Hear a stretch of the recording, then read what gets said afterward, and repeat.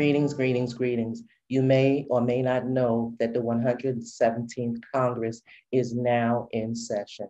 A new Congress has begun and it has a very democratic stronghold in which to make things happen. For years, the HR 40 bill has been presented and rejected, and nobody even knew it was being considered. But last year, with so many candidates running in the elections to be president, mouthing off reparations, trying to get the Black vote, national attention was given. And because a major focus with debates and discussions concerning it was held, there's been a continual upswing in interest concerning the reparations owed and due. At that time, there was no, no support for it, but things have changed because the Senate is now run by the Democrats and able to get the vote to pass it.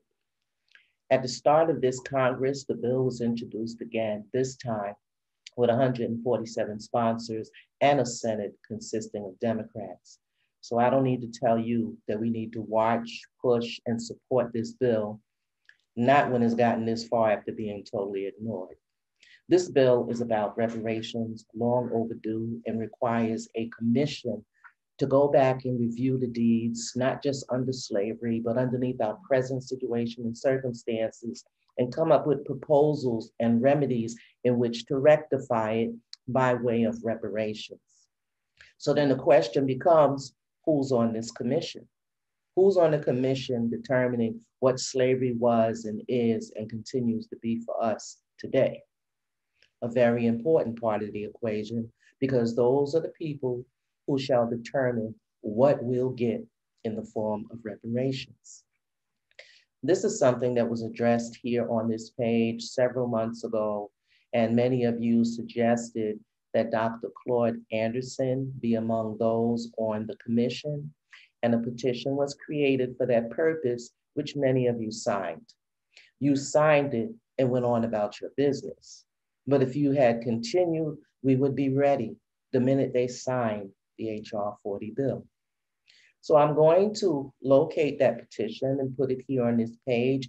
And if you and you can decide if you're gonna push to have him on this commission or let them decide who they want to put on this commission. I'll also be posting information about the bill itself so you can see and see for yourself what it says and information about it being recently introduced into Congress. I'm doing these things to facilitate your actions and a push for reparations, which should be a collective action of us all, particularly those who are demanding reparations owed and due. It's going to be a fight, and we should be in it to ensure that we get what's rightfully owed and due. Okay, that's all I have to share for you right now. I'm Danette Chavis, and I'll see you on Facebook.